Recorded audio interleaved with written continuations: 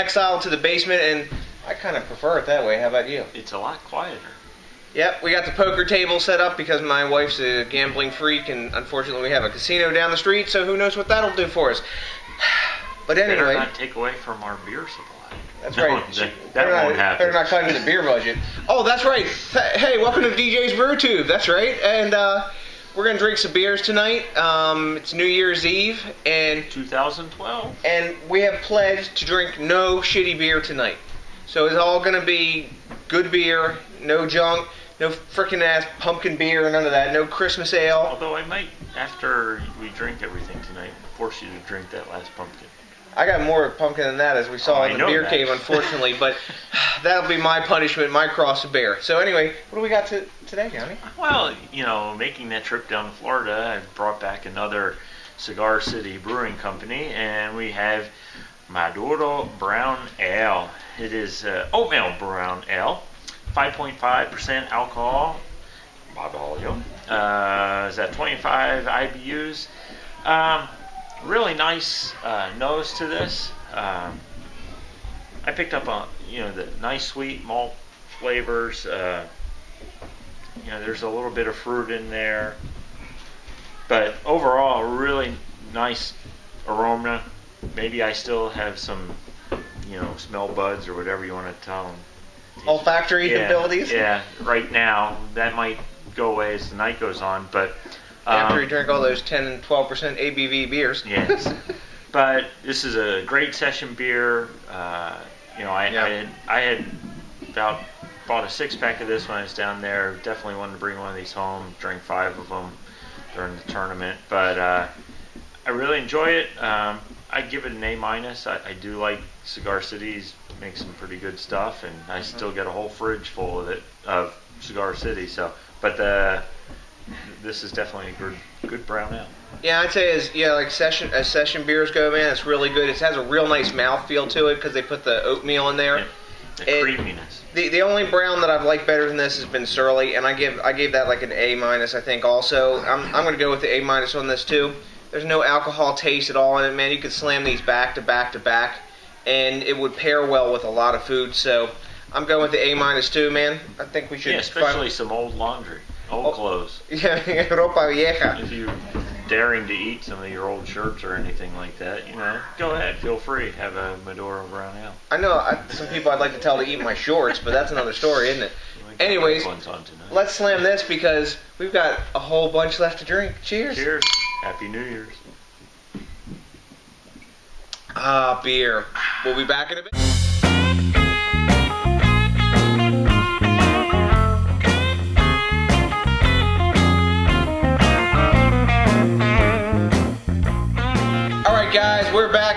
Video because we're taking a video We're now taking dumb pictures. of drinking beer. Anyways, guys, we're back and we got a special beer from DJ Cellar. We got 2011 DuClaw Oak Age Bourbon Barrel Age, whatever the hell you want to call it, Double Black Lightning. But this is New Year's 2012. What the heck? We're not drinking Oh, shitty beer this year. Is it really New Year's 2012 or is it New Year's Eve 2012, New Year's 2013? I don't know, but I know one thing: we're not going to drink any shitty beer tonight. No. Only good beer. Now, the first time I had this beer was at the Maryland Craft Beer Festival, And he was cronked. and I was cronked. And I was even though I was cronked, I actually remember drinking this beer and said, "I got to find me a bottle of it." Well, luckily, He found DuClaw- himself too. Exactly. DuClaw got rid of their distributor, and lo and behold, appears said cases of beer. So, when I drank this at the festival, it was really hoppy. It was in your face. It's a double black IPA, is what the beer is, bourbon barrel aged. But now, what do you think of it, Johnny? Uh, I have a lot of words to describe it. You have nine minutes? No. I'll make it quick and easy. It's not hoppy. Not anymore. It tastes like a bourbon barrel stout. It is has nice glass lacing. It is very good. It is a very good New Year's Eve brew.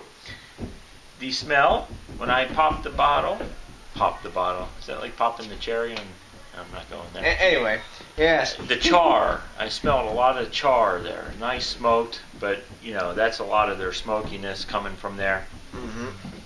uh, some some maltiness, some smokiness comes out of there.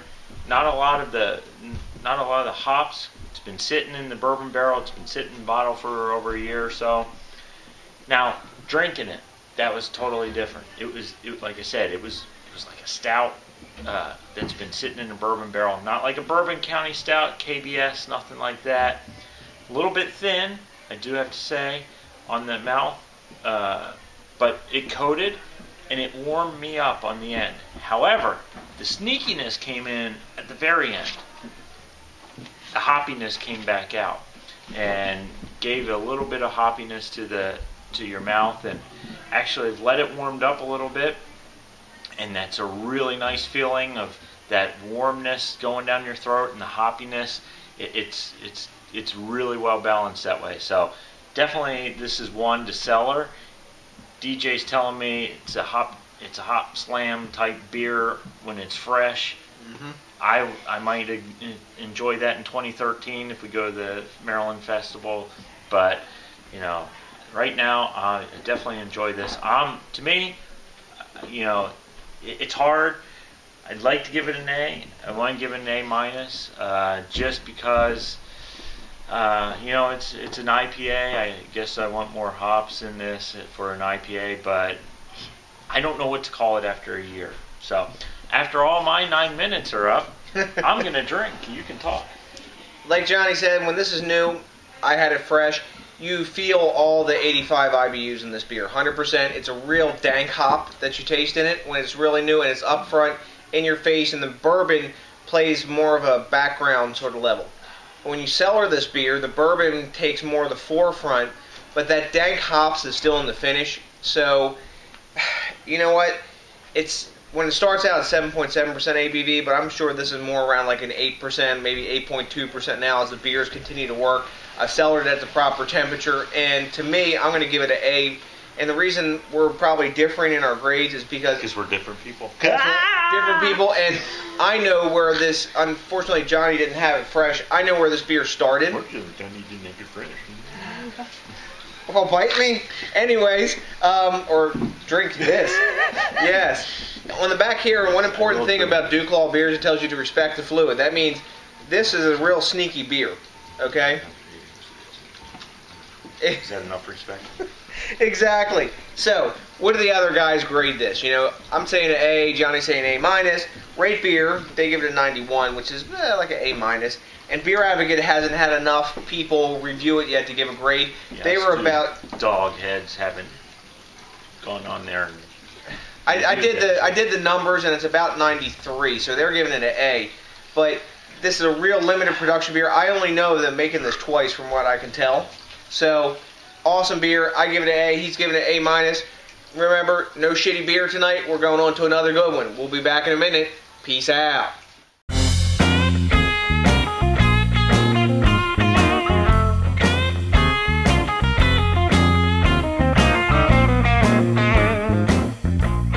We're back, fuckers. That's right. We're drinking more beer. And that's right. Remember what we said. Know what, Johnny? He's been rendered speechless by this beer because we're not drinking any shitty beer tonight. And what do we got up next? We got Ommegang Three Philosophers. oh my 2011 God! 2011 vintage. What did what did you think about this one, John? Well, okay, come on. Give it to him straight, beer geek. It is three philosophers. It is a what? Not a one, not a two, not a three, but a Quad. excellent. So now that oh man, the damn light. Um, the looks like we got uh, nine percent AB, point Nine seven point- ABV per volume. You know, Oh. so we're getting the beer geek stats here. 19 IBUs. You know, Where's Ommegang out of? You want to go to the beer? You know, well, Cooperstown, New York, by the for, way. for guys. all your Natty Boh fans out there that happen to be OEOs fans, of course, you know they did real good. You know, compared to when I we did that uh, Natty Boh and I slammed the O's pretty bad. Yes. Uh, you know, they went about as far as my Nationals did. So, but oh well, it's at the Hall of Fame, or at least next door, or around the corner, or down the street, or in the same town as Cooperstown. So, if you're up to going to visit the Baseball Hall of Fame, which I know he's not, but I know he might go to the brewery instead. Oh my God, brewery! I didn't even So- go to the Baseball Hall of Fame just to go to the brewery, but Um, I'm a team player. right off the bat, very nice. Oh, let me tell you, it's like uh, 98% uh, ale and 2% cherries, which surprised the crap out of him yesterday. So, um, I bought it. I didn't even look. the fruit, I, I have actually passed this up quite a bit. I don't know why, now that I've drank it. But you get a lot of the dark fruit. You can smell the cherry right off the bat, and mm, you can taste that. You can taste the cherry. Actually, taste that cherry. At least I can. I don't know about him, but um, you know, I, I definitely give this an A uh, for a triple or It's quad. Say it with me. Quad. uno, dos, tres, quad. So, you know, it, it, it's it's a very good quad. I, I really like this. I'm definitely gonna go and uh, get this from the store the next time I find it. Um, but yeah, it, it's to me it's it's very good. So I'm gonna do the stun drinking. DJ's gonna take over the geek. Exactly. Look, when we poured this, guys, it's it's not as like a ruddy, dark sort of river water, apple cider looking beer like a lot of them are. In quad territory, this is a more clear beer. It's, it's more of a reddish sort of uh, hazy Cherry? red color. Color. Maybe, yeah, probably because of the cherries. They they use I, I can't cherries. remember, but They, they use cherries. they use a lot of them too. Mm-hmm. You remember quads fermented four four times. You got a lot of ingredients in this beer. You can ta- definitely taste the Belgian yeast strain in this, and it's just got a lovely nose too. I mean, it's that that candy sugar cherry thing. it. It really brings out the cherry. He's digging that man, but yes, he may be cut off after this beer. No way, we've got some good stuff coming. We got some big ass beers coming, even bigger than this. So you think we're crunk really, now? You it wait. really brings out the cherry. I mean, when you gur- do it and comment, Gur- gargle, gurgle, and and comment because you uh-huh. taste the cherry. Seriously, man. Oh. oh, that's good. That's that's a new way of reviewing beer. Gurgling. So it's a year-round serving, guys. Um, if you can get it, buy it. Um, I've had this new, aged for a year, like most quads. It's even better. Um, this is it's a much more integrated beer, and that cherry flavor, like when you first get this new, it's sort of disjunct and out there. But now, man, when you drink into this beer, it's just like really smooth. And um, I'm gonna give this one an A. How about you, man? I think I gave him a name already. Did you? Yeah. Oh, See how much the freaking beer geek doesn't listen to the stun drinker because he's so annoyed with the stun drinker gurgling the beer. what do the other guys give it? Not like the people watching give a shit, but. Well, I'll go have to read it. Oh yes, let's see. Um, let's see. Beer Advocate gives it a 99, and That's good. no, actually, Beer Advocate gives it a 92, and Rate Beer gives it a 99. So Rate beer gives everything a 90. yeah, that's right. So I don't know how much they hold water, but anyways, me, I'm giving it a straight up A. Johnny's giving it an A, and damn, I gotta finish this. We gotta go drink another beer. Hold Yeah. on. Oh. Gurgle. We'll be back in a flash.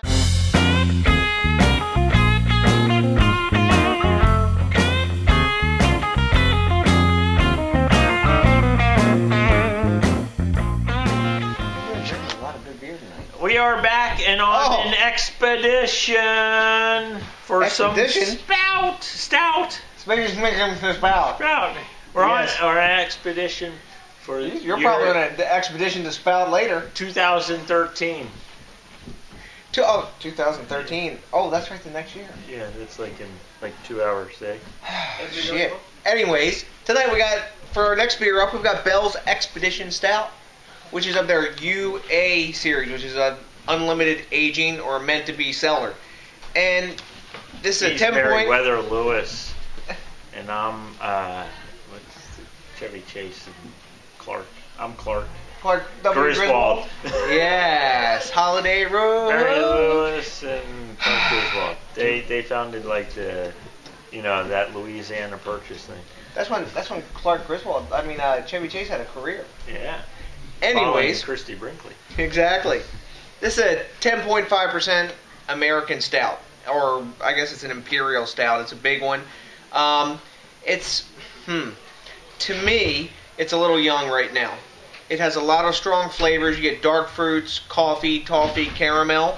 But you can taste that this beer was designed to buy in a six pack, drink a couple few, and then put a, some way to, like a side to cellar. Ah, you've correctly described my six pack.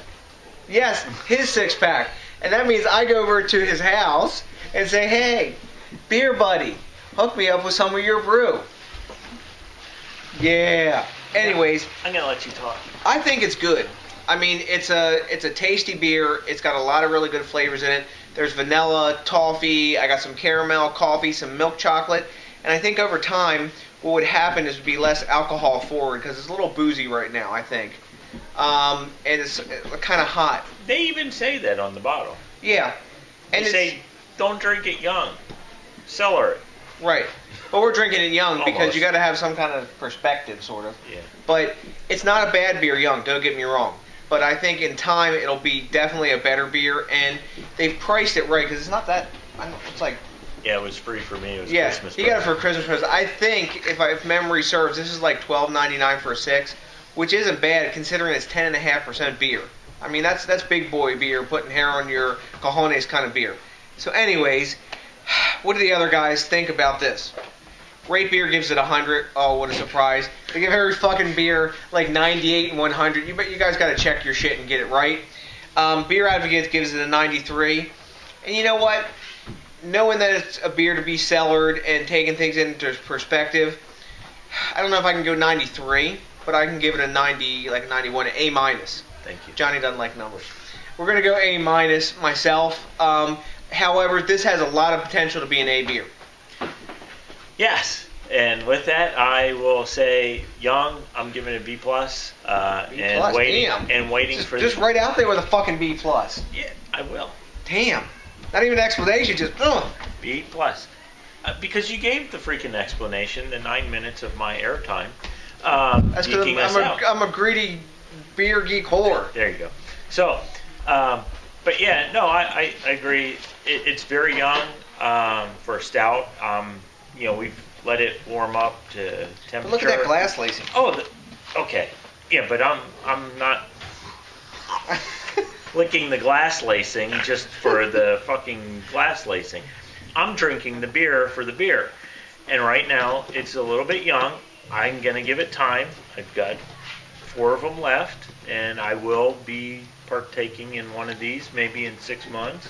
Nine and I will be months, knocking something. for at your door. Hello! Let me have some of that beer. I'm not in right now. So, but yeah, uh, it's a strong B plus. You know, weak A minus. How about that? It's right there on the edge.